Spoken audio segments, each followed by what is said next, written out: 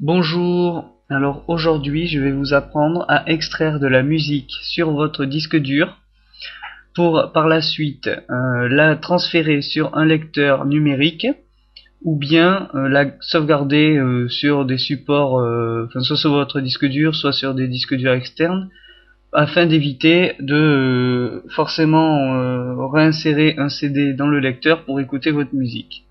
Alors nous allons utiliser le logiciel Windows Media Player qui est intégré à la plupart des versions Windows. Et euh, donc la première chose qu'on va faire c'est qu'on va insérer un CD audio dans votre euh, lecteur euh, CD ou DVD de l'ordinateur.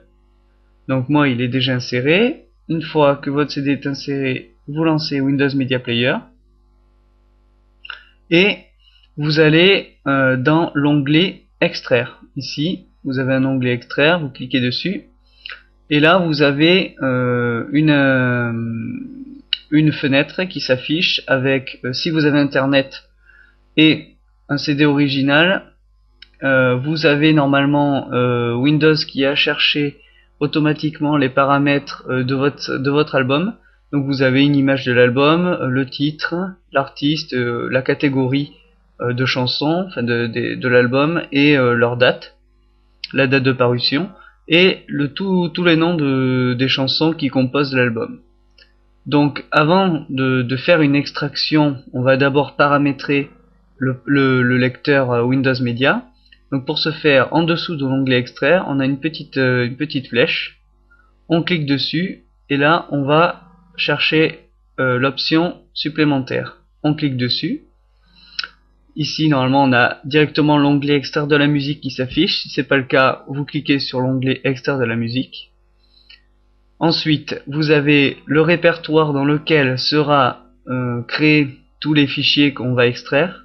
Donc moi, par défaut, je le laisse dans mes documents euh, musique. Après, vous pouvez toujours changer euh, le chemin en cliquant sur modifier et en choisissant un autre endroit. Moi, je vais laisser l'endroit par défaut. Et ensuite, pour les paramètres d'extraction, c'est là où tout va dépendre selon vos choix.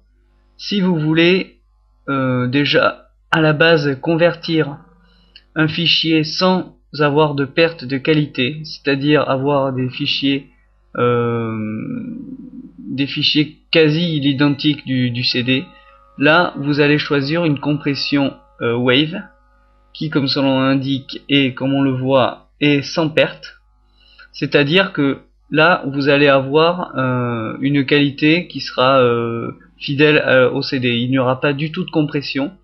Donc les fichiers seront, seront forcément de, taille conséquente. Vous voyez que pour un CD, il faudra compter à peu près 600 MO.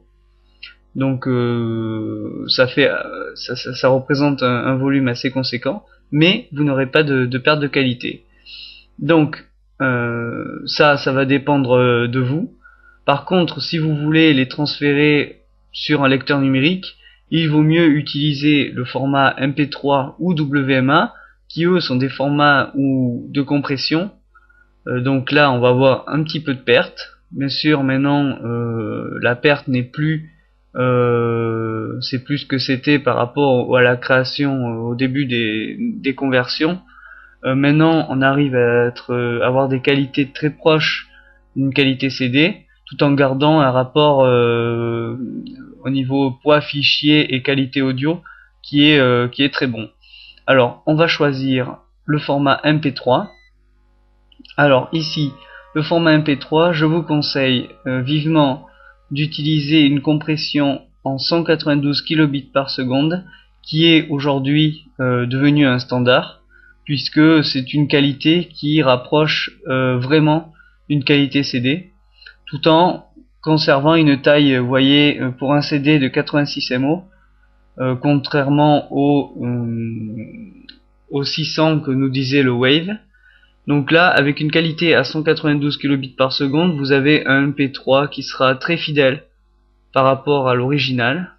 Mais bien sûr, il y aura de la perte puisque on compresse le fichier. Alors vous pouvez aussi compresser en Windows Media, Audio Windows Media ou WMA. Alors attention, tous les baladeurs numériques ne, ne fonctionnent pas, euh, ne sont pas compatibles avec les formats WMA, vérifiez bien avant, euh, avant d'extraire votre musique que votre, euh, votre baladeur numérique accepte le format WMA. Alors il faut savoir que le WMA en qualité quasi identique à celle du MP3 utilise à peu près moins de place. C'est-à-dire que là vous voyez on est en 128, si on se met en, son, en 160 même, en 192 on a, on a la même taille, mais 192 pour du WMA c'est très élevé. Euh, le 160 va suffire amplement. Vous aurez une qualité qui sera euh, quasi celle du MP3 avec une, un rapport poids-fichier qui sera moins important. Donc plus intéressant si toutefois votre baladeur numérique est compatible avec WMA.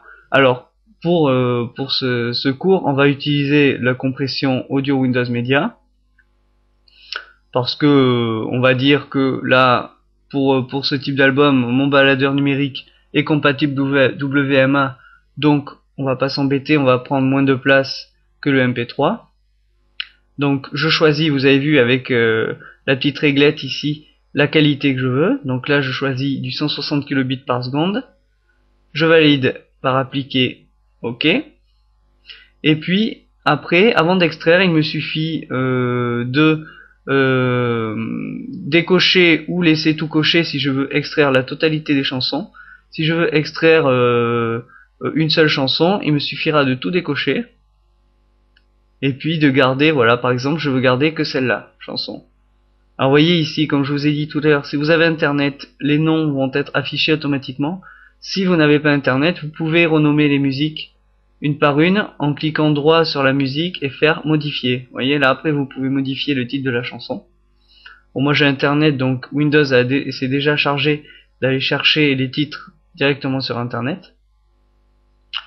Donc on va maintenant procéder à l'extraction. Donc moi je vais procéder à l'extraction que de cette chanson puisque il n'y a que celle qui m'intéresse pour l'instant. Mais si vous voulez tout, toute tout extraire, il suffit juste de cocher cette case, ça va cocher l'intégralité de, l'album. Donc moi je veux cocher que celle-là. Alors je fais démarrer l'extraction tout simplement. Et là je remarque une petite barre de progression avec euh, qui m'indique à quel pourcentage le fichier euh, s'extrait. Alors il faut savoir qu'en WMA l'extraction est plus rapide qu'en MP3 puisque euh, MP3 n'est pas un format on va dire compatible, enfin un format intégré propriétaire de enfin, Windows dont Windows n'est pas propriétaire. Par contre le WMA oui.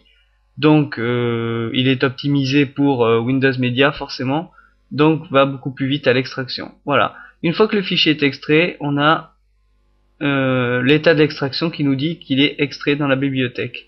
Donc à partir, à partir de ce moment-là, il suffit juste d'aller chercher alors, on va mettre oui. Euh, il suffit juste d'aller dans mes documents musique pour retrouver le nom de l'album, voilà encore le nom de l'album et le titre de la plage qu'on vient d'extraire en format WMA que vous pouvez contrôler ici. Vous voyez fichier audio, audio Windows Media et si on veut regarder la taille, vous cliquez droit propriété et là vous voyez qu'il fait 3,65 euh, MO pour une seule chanson. Donc c'est largement suffisant et très raisonnable comparé à la qualité qui va être vraiment proche de celle d'un CD. Alors après, une fois que vous avez extrait toutes vos chansons, euh, toutes vos chansons préférées, si vous avez extrait un album entier, soit vous pouvez décider de transférer directement le dossier contenant toutes les chansons vers votre lecteur MP3, ou alors une chanson euh, comme celle-ci directement, il suffira juste de cliquer soit sur le fichier, soit sur le dossier, cliquer droit dessus, faire envoyer vers, et là bien sûr avant vous aurez, branché votre lecteur euh, MP3, et euh, vous choisirez envoyer vers, et là votre euh, la destination de votre lecteur MP3. Voilà, maintenant vous savez comment extraire de la musique avec et sans compression vers votre baladeur numérique ou votre euh, n'importe quel autre support, disque dur externe, CD, euh, peu importe. Voilà, je vous remercie d'avoir suivi ce cours.